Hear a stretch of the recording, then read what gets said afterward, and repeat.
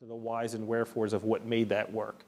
And that's the real power because once you do that, then the, the brain power of everybody who's really intimate with doing this type of work then gets the aha moment to think more broadly about other implications of what they just saw. So when we iterate through this, we'll see other things. As, as I said here, we're going to learn that in the actual result, when you deploy that plan, it's not going to be exactly what this thing forecasted. Um, it'll be better than where you were, but it won't be exactly this result. And there are different reasons for it. One may be that the metrics you're using to define the recipe, so to speak, um, wasn't exactly correct. It was a swag.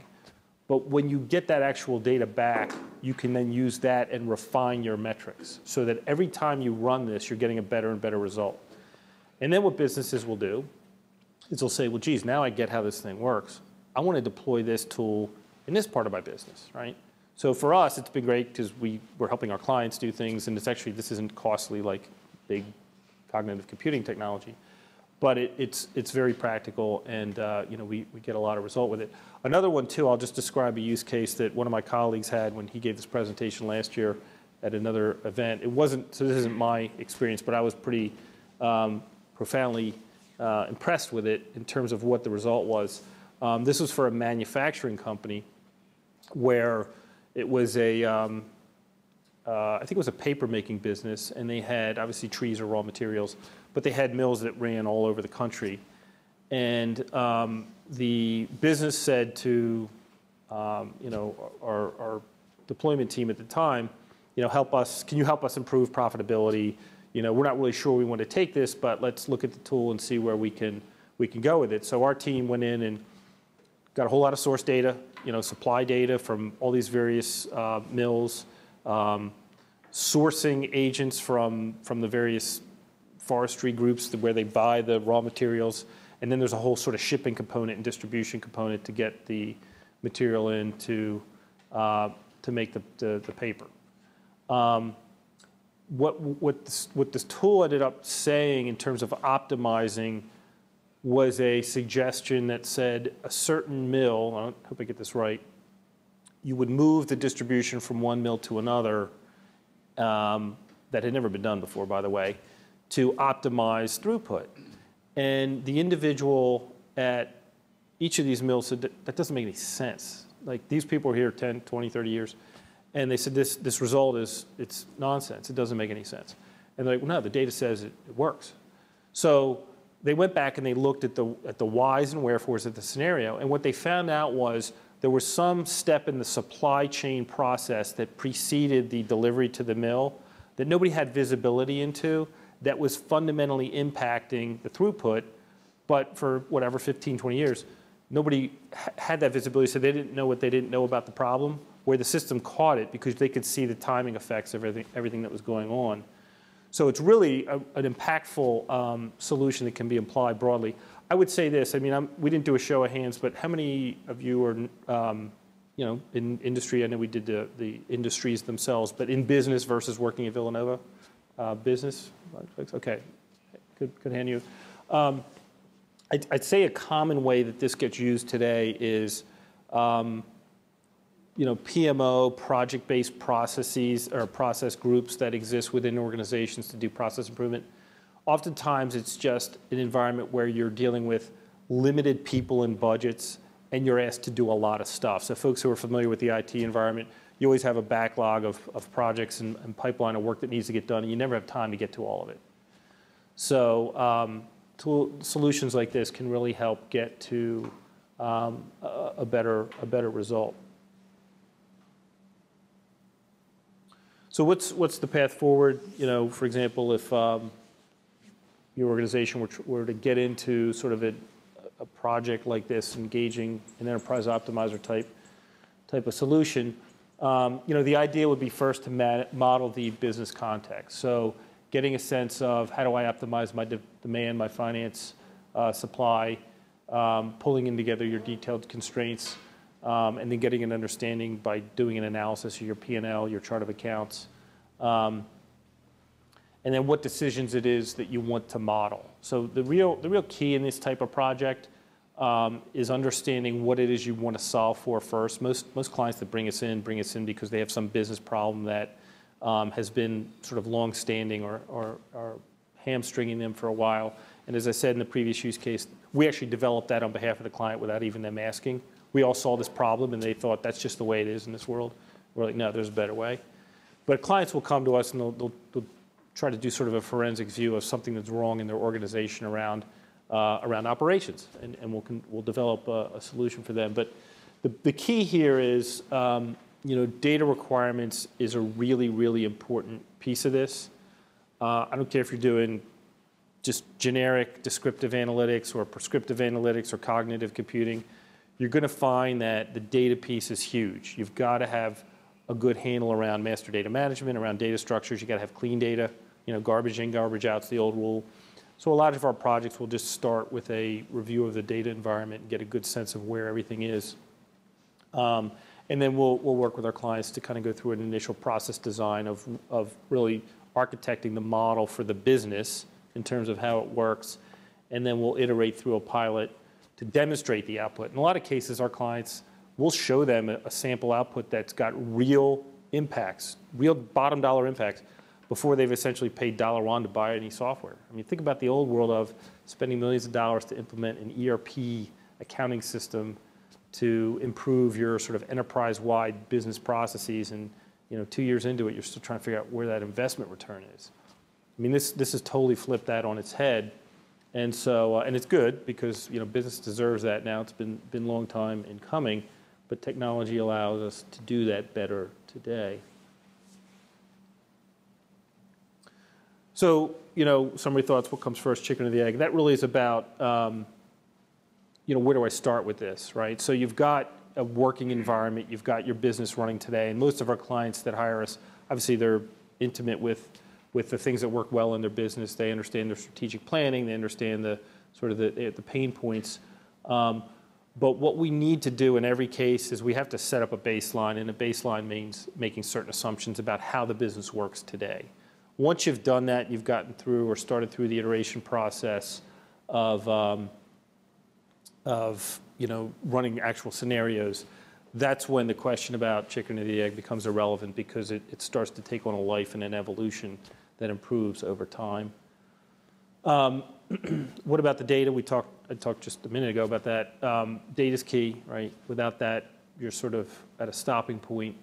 Um, and again, getting to the, comparison, so to speak, to, cognitive computing, just as a reminder, if you have an environment like this whole discussion in this presentation has been around within the four walls of a business to optimize profitability, the, the type of data that's going to give you that answer, by and large, is always going to be really hard structured data, right?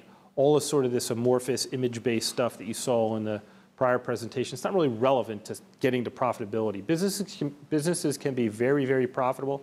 They can optimize profitability, guaranteed, if they just get the data that they have in order, right? And apply these kind of uh, tools to, to get to the result the, the challenge and then the next step, and remember there are these six levels of financial information, that sixth level of time-based um, adherence or, or um, inspection is really around these emerging trends in robotics. And robotics is the generic form of the cognitive computing that Boris was talking about earlier. Do you, you have a question? So talking about the basis part of this, how many of your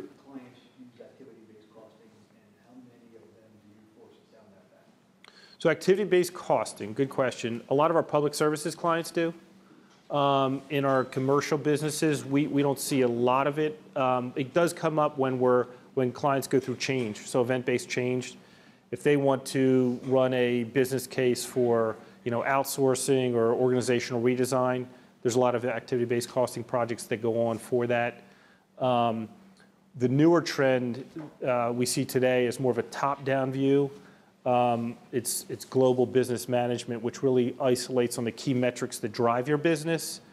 And then you're making business decisions top down based on those metrics drivers. It's really a lot of what I just went through in this presentation. The bottom up activity based costing, there's a debate about, about the, uh, you know, what you get out of that, but it's important. Um, but it's just one piece. It, it, doesn't really tell the whole picture. Um, the way you can sort of top down if you just drive your business through whatever the key metrics are that, that, uh, that you run your business with.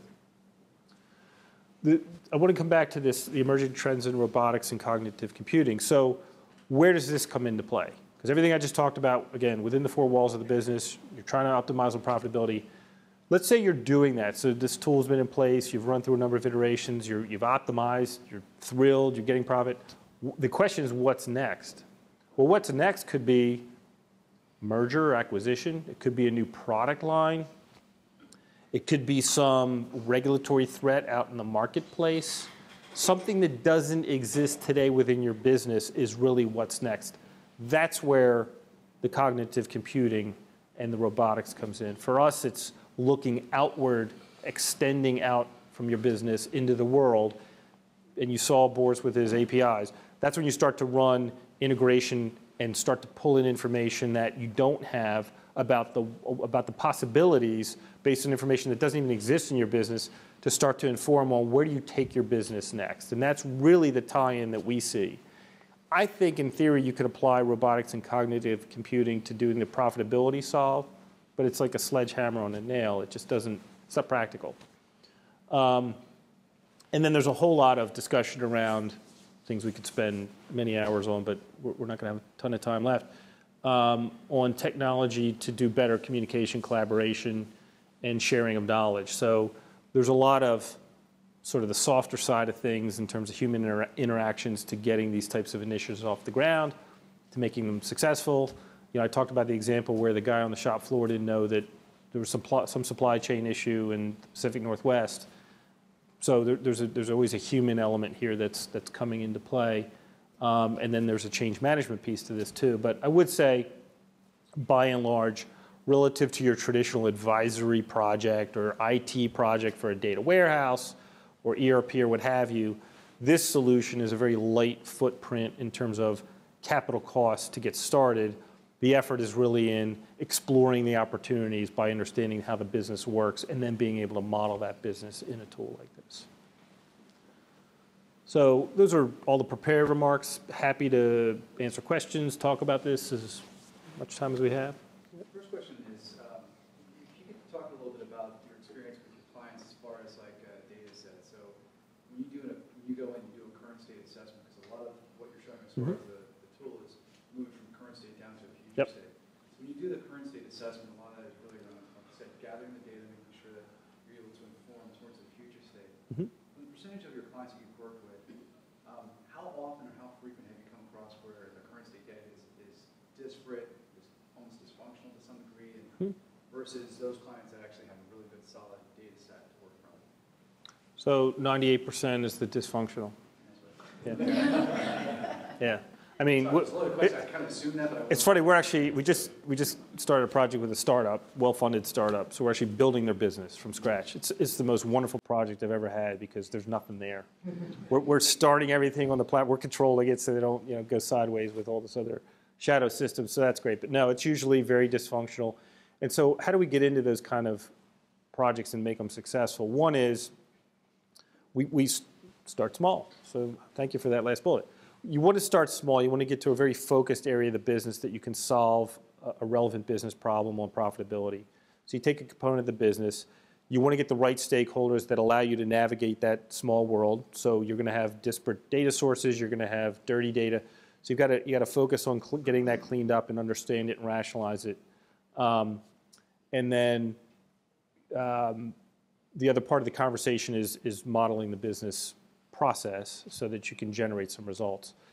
What we find is it's, it's a little bit of a sort of a Pavlov's dog scenario where we, we get success in a small way, we broadcast that success, and then people get interested, and then they say, what'd you do there? And then you start to describe it.